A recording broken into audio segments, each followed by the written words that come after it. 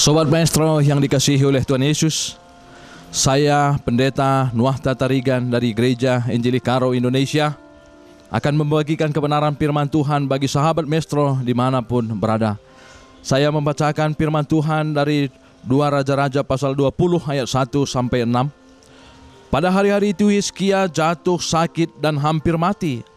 Lalu datanglah Nabi Yesaya bin Amos dan berkata kepadanya, Beginilah firman Tuhan, Sampaikanlah pesan terakhir kepada keluargamu sebab engkau akan mati, tidak akan sembuh lagi.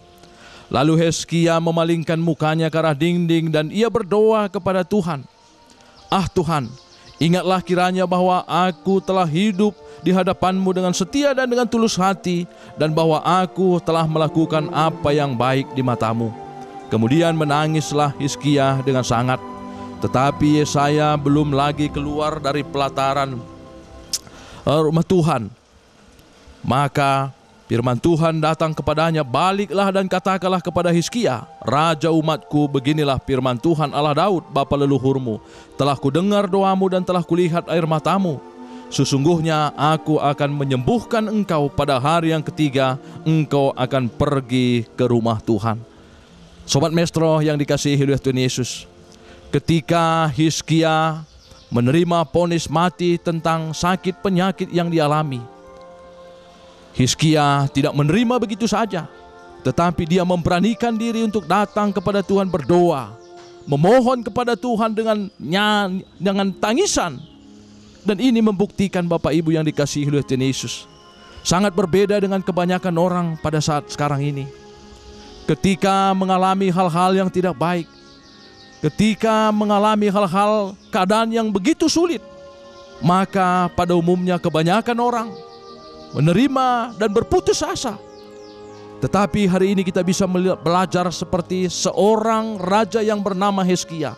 Walaupun sudah diponis mati, walaupun penyakitnya tidak akan disembuhkan kembali, tetapi dia memiliki pengharapan di dalam Tuhan Yesus. Inilah teladan contoh yang patut kita ikuti dalam setiap kehidupan kita saudara. Jangan pernah berputus asa.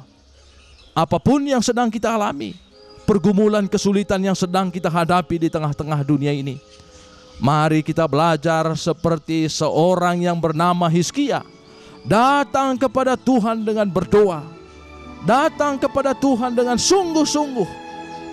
Dia mengutarakan semua isi hatinya dan bahkan firman Tuhan kata dia menangis dengan sangat. Ini membuktikan bahwa tangisan Hizkia bukan karena sebentar lagi dia akan mati. Bukan karena sakit penyakitnya tidak disembuhkan. Tetapi tangisan yang disampaikan oleh Hizkia membuktikan bahwa begitu sungguh-sungguhnya dia berdoa kepada Tuhan. Oleh karena itu, saudara sahabat Mestro di mana pun berada, Mari kita belajar seperti seorang Hizkia. Berani datang kepada Tuhan Yesus. Berani membawa semua persoalan pergumulan hidup kita. Dengan tulus, dengan penuh keyakinan. Bahwa Tuhan akan menjawab. Dan kita melihat sendiri jawaban doa atas yang disampaikan oleh Hizkia. Maka pada saat itu juga firman Tuhan tadi katakan bahwa Yesaya belum kembali dari rumah itu maka dia disuruh balik kembali untuk menemui Hizkia bahwa dia akan disembuhkan. Hidupnya akan dipulihkan, malahan diberi lagi bonus bagi dia adalah umur panjang bagi dia.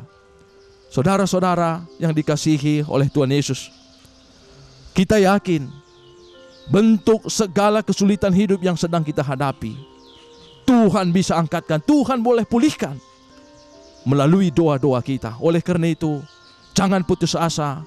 Yakinilah bahwa Tuhan akan menjawab, memberi kesempatan kembali kita untuk bangkit dan bangkit lagi hidup bersama dengan Dia. Terima kasih, sahabat Mestro yang dikasihi oleh Tuhan Yesus.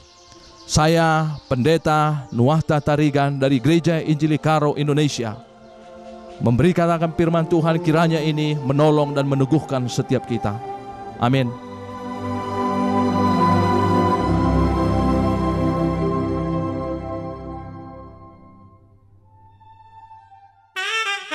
my soul.